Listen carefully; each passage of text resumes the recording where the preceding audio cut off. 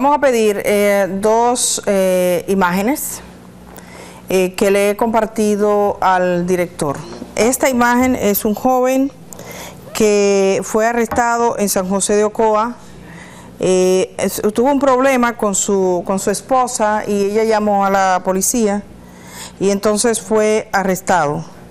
Resulta que José Gregorio Custodio no alcanzó para contarlo, o sea, eh, muere también. Y muere en un hospital, en el hospital de Ocoa. De este caso a mí siempre me ha llamado la atención que de hecho una persona de Ocoa me compartió un video de un policía y la señora va grabando y le dice, eh, eh, mira cómo va a agarrar preso a este, mire, mire, ustedes que mataron a, José Gregorio, dice, usted no sabe por qué fue. Y le dice ella, ¿por qué fue? Y los policías se van. Nadie sabe por qué los policías actuaron con tal saña y quisieron decir que, él se puso malo, que fue que él se puso malo que lo llevaron al hospital que se murió malo, pero ese tenía, y yo tengo las fotografías que de hecho mostré, la cabeza partida, con heridas en la cabeza y con moretones en el cuerpo. Y José eh, Gregorio eh, lamentablemente falleció. Trasladaron a la dotación, hay una investigación, pero todavía no han dicho bien qué es lo que van a hacer. Esto ocurrió el 17 de abril. Poco antes, el 5 de abril, vamos a ver el arresto de Richard, Richard Baez, 30 años, esto fue en Santiago. También fue arrestado, miren el momento, miren las imágenes. Posteriormente Richard aparece grave en un hospital que se autolesionó también, la historia. Richard, eh, su familia denunció que fue detenido por miembros de la policía en el distrito municipal, Santiago Oeste, conducido hasta la zona hasta la dotación de la policía y luego trasladado hasta el Hospital Regional Universitario José María Cabral Ibáez, donde recibió atenciones por los golpes que recibió. Son tres personas con iguales características. La llevan, la majan en el destacamento, le destrozan el cuerpo, la llevan al hospital y después que se autolesionó a sí mismo, que se puso malo, que le bajó la presión, pero todo el mundo está viendo los golpes, como que este país es un país de estúpidos. O sea, ¿qué es lo que opinan estos agentes que eh, articulan este discurso y con qué cuentan? Uno espera que con impunidad no sea. El presidente de la República nueve se ha referido anoche a esta situación. Evidentemente, en el presidente lo que está y lo que le toca es el tema de la reforma policial, las decisiones de carácter administrativo. Él es el comandante en jefe de los órganos eh, armados de nuestro país, puede tomar decisiones eh, difíciles en un entorno eh, como el que tenemos, con una cultura, evidentemente, de abuso, pero que tiene que parar. Él mismo lo reconocía. Yo quiero eh, recordar lo que decía el presidente el mes de octubre, cuando hicieron el anuncio de la reforma policial en la República Dominicana. Este video, esta parte que voy a compartir con ustedes, es un video de archivo. El presidente había estado muy conmocionado por el asesinato de dos pastores evangélicos que venían transitando por la zona de Villa Altagracia y entonces el argumento de la policía fue que lo habían confundido. Vamos a ver lo que decía el presidente cuando se hizo el anuncio de una comisión que se supone en nueve meses debe rendir, en nueve meses un informe, en 18 meses rendir algunos frutos. Eh, ahí se anunciaron muchísimas cosas, incluyendo las cámaras en los chalecos de los policías, en sus vehículos, dispositivos en sus móviles. Pero yo quise quedarme con la parte central del espíritu de esa, eh, de esa reforma policial en palabras del presidente de la República. Lo que necesita la policía es una verdadera transformación. Y esa transformación va a tomar un tiempo, pero tienen que empezar y tenemos que empezar a ver resultados desde ahora. Yo no vine aquí a sencillamente lograr unas mejorías para que después las cosas continuaran igual. Cuando yo salga de este Palacio Nacional, yo quiero que hayan, que existan transformaciones y reformas reales que sobrevivan a cualquier presidente de la República. Y ese es el caso de la policía, como lo estamos haciendo en otras áreas. Es muy fácil llegar a acuerdos, sí, baja la delincuencia ahora, después aguanta allí, y eso es lo que había estado pasando por muchos años. Llegó la hora de hacer la transformación real de esa policía.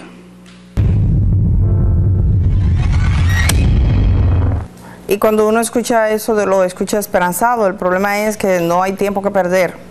Realmente es hora de que se pase de la palabra a los hechos. Y quiero decirles, yo eh, conozco algunos policías que han estado en situación de, de este tipo, en situaciones de este tipo. Suelen estar bastante asustados porque se le da la espalda. O sea, los policías viven una y otra vez la misma experiencia, se acostumbran a abusar, se le enseña, es parte de un proceso como natural dentro de las instituciones de profunda corrupción. Un buen día matan a una persona, ese tema se hace público y ellos no soportan, es como, como esos, esas aves nocturnas que cuando le pones la luz no encuentran sitio.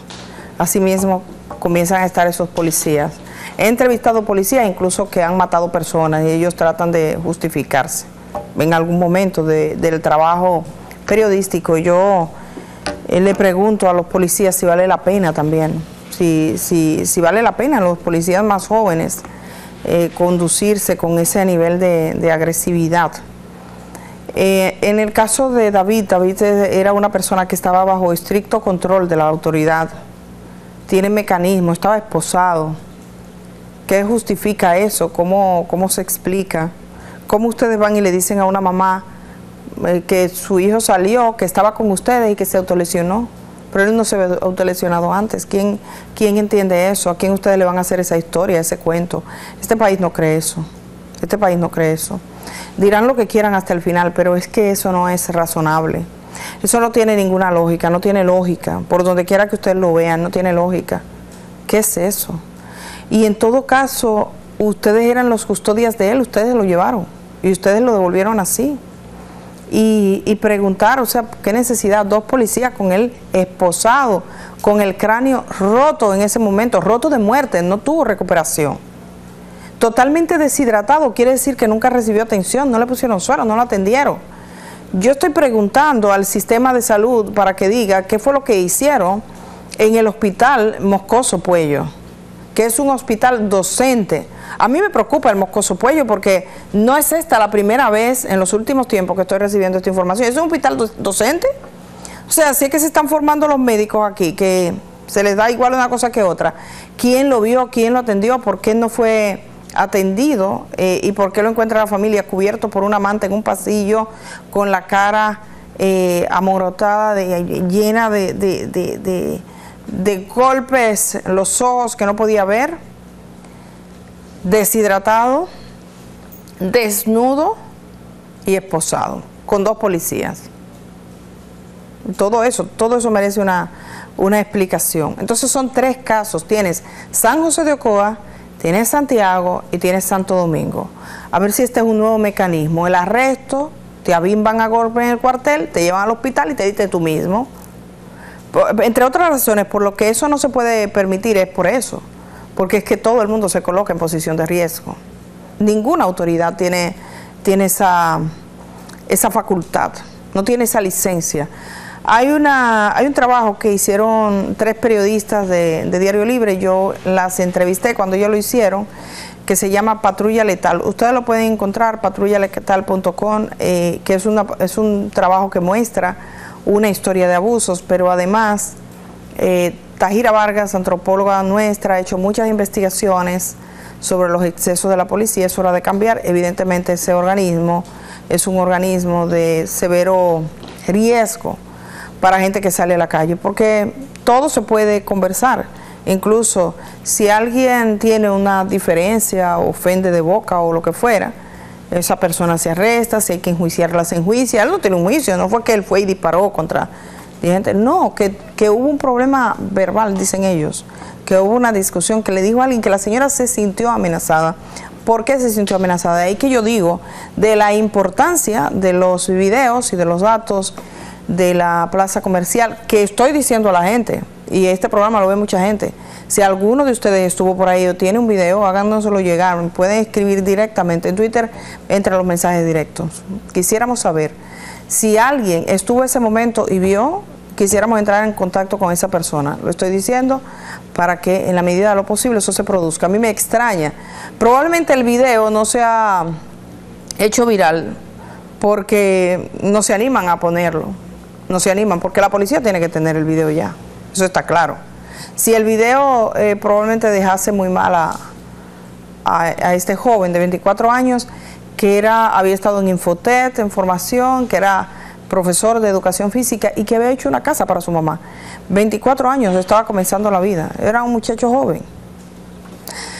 Es una cosa muy, muy triste, muy dolorosa y uno quisiera querer pensar que en este país va a llegar el momento en que no se tenga que estar eh, lamentando situaciones de esta naturaleza a manos de agentes que estén llamados a proteger la vida de la gente y a no masacrarlo, porque esa no es, se supone que esa no es su función.